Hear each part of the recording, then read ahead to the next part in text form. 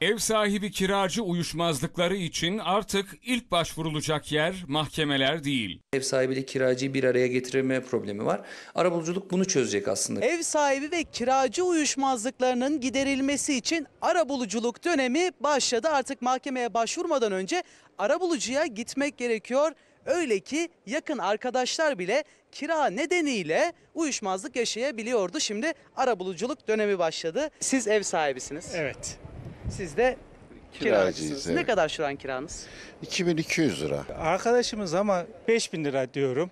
Kaç yıllık arkadaşsınız? 10 yıllık 10 arkadaşız. yıllık Evet. arkadaşsınız. Uygun mu? Devletin verdiği %25'e göre artırsak 3 3,5 arası diyoruz. Artık bu gibi durumlarda anlaşmazlığı arabulucular çözecek. Ev sahibi ve kiracı bir araya gelerek orta yol bulmaya çalışacak. Yeni uygulamayla mahkemelerin yükü azalacak, taraflar dava masrafından kurtulacak. Üstelik internetten başvuru imkanı da var. Vatandaş uyarı sisteminden online olarak başvurabiliyoruz birincisi.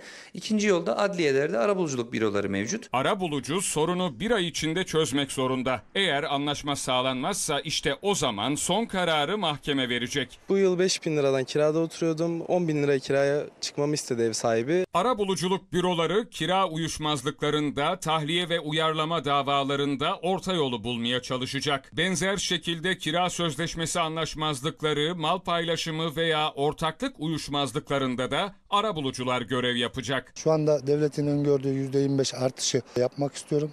2500 lira olması lazım. Ev sahibim bana diyor ki 8000 lira kira yapacaksın. Arabulucuya gideceğiz inşallah.